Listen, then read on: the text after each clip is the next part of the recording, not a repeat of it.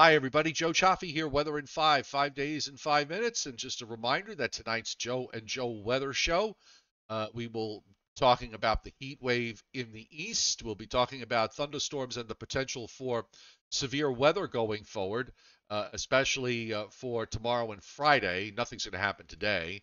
And of course, we're going to have the latest on uh, Tropical Storm Lee, which by the time we do the show tonight is uh, going to be a hurricane. So that's all tonight on the Joe and Joe Weather Show at 7:35 uh, p.m. Eastern Time. So uh, moving uh, ahead now to uh, what's going on this afternoon. Uh, we are seeing, of course, uh, hot weather up and down the eastern seaboard, and you can thank the fact that we are trapped in between the remnant low of Hurricane Idalia southeast of Nova Scotia, just rotating and rotating and not moving and that's created this log jam and you've got this next weather system in the great lakes with its trailing cold front extending down into tennessee and northern mississippi. Some showers and thunderstorms are being produced this.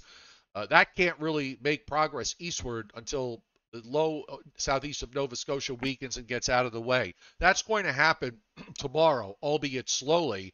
So this front is essentially going to be crawling eastward. And once it reaches the east coast it's not going anywhere anytime soon. It's going to be hanging around from later Thursday right through the weekend and into early next week. That's going to pose some issues uh, every day with the threat for showers and storms. Meanwhile, as of uh, 2:15 p.m. Eastern Time, we've got some storms up in northern Michigan and also some storms in parts of southern Ohio, central Kentucky, and eastern Tennessee, and even down into southern Mississippi. Of course, uh, there is the possibility of some severe weather this evening and into the first part of tonight. Make sure you go to weather.gov for the latest weather information regarding your local area. The Storm Prediction Center for uh, today uh, is indicating a marginal to slight risk of severe weather from the Great Lakes down to uh, through the Ohio and Tennessee Valley and then west into north central Texas.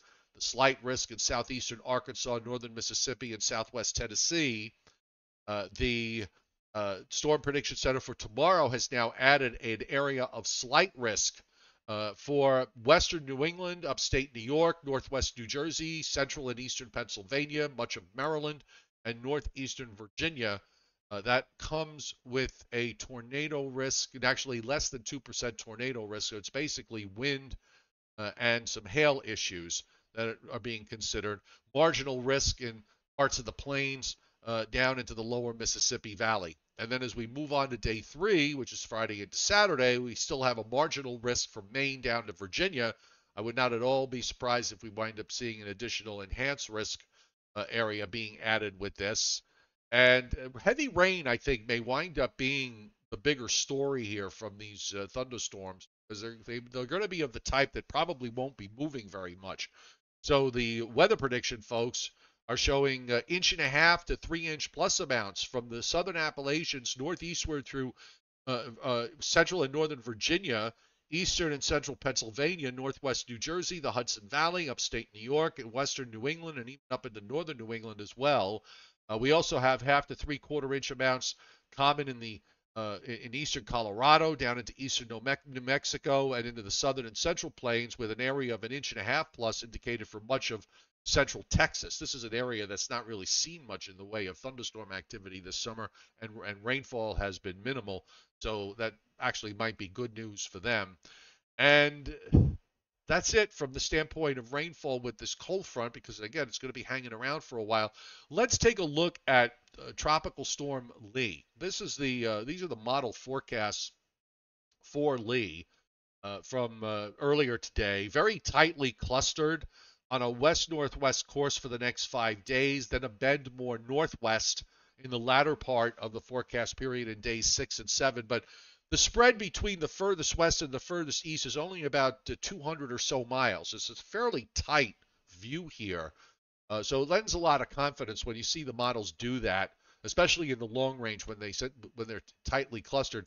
And this is definitely going to become a major hurricane. I think it's going to be at least a Cat 4, and it would not shock me if it gets to a Cat 5. And we do have some of the intensity models actually. Uh, bringing it to a category 5 hurricane one of them as soon as uh, 72 hours from now uh, just about all of them have it at least as a Cat 3, and the majority of models are making this a, uh, a Category 4. Here's the latest satellite loop, uh, the visible satellite loop showing all the signs of a strengthening system, a well-defined core. You see the feathering of the high clouds getting blown away on the periphery. That's uh, telling you that uh, this thing is in strengthening mode. So it may already be a hurricane, even though it's, so, it's still being classified as a tropical storm as of the uh, 11 a.m. advisory. I think by 5 p.m. they're going to make this a hurricane, and it's moving on a fairly steady course uh, to the west northwest. So uh, no issues from Lee at all uh, for anyone. I think through the weekend. I, I, think that's a pretty fair statement. It's going to prob- it's going to pass north of the northernmost Leeward Islands. It will pass north of Puerto Rico and the Virgin Islands and the Dominican Republic. So there's no issue there, other than the ocean getting roughed up. Now, as far as the longer term view of all of this, we're going to take a look at the upper air, which of course we've got this heat ridge in the eastern part of the United States. It's going to be weakening uh, today and tomorrow. A trough approaching from the Great Lakes. The Nova Scotia Idalia low is now finally moving, but this trough to the east gets to the east coast and then gets hung up. And that's because an upper high in the Atlantic is building back westward at the same time. So we're going to have a stalled cold front along the east coast right through the weekend. Sorry for the audio glitch there. Right through the weekend. Then, as that trough starts to weaken, we see Lee approaching from the southeast, well east of the Bahamas. A new trough overwhelms the Great Lakes down into the central Gulf states. And Lee is forecast to get caught by that and get and turn northward, passing halfway between Bermuda and the Carolinas, and then northeastward, southeast of Cape Cod, and passing just south of Nova Scotia. Now, we're talking about something that's basically eight or nine days away. And I think there's still a lot of volatility in the models in terms of how this upper trough in the eastern part of the United States is going to take shape. So um, we're just going to kind of take a wait and see attitude at this point. If, if, if you had to bet, I would say uh, this will be an out to sea storm, but I can't rule out a more westward track until we see that upper air uh, clear up in terms of how deep the trough is going to be. What's the shape of that trough?